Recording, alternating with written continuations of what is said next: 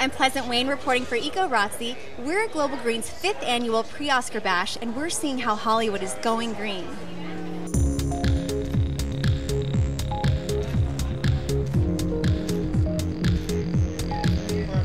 Salma, one quick question. Salma, what are you doing in green?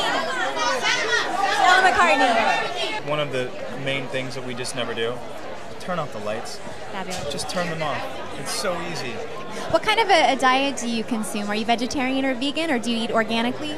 Yeah, primarily that's the, probably the best way you could do it as far as really um, consuming just the food we eat, which is probably laden in a lot of chemicals, I can imagine.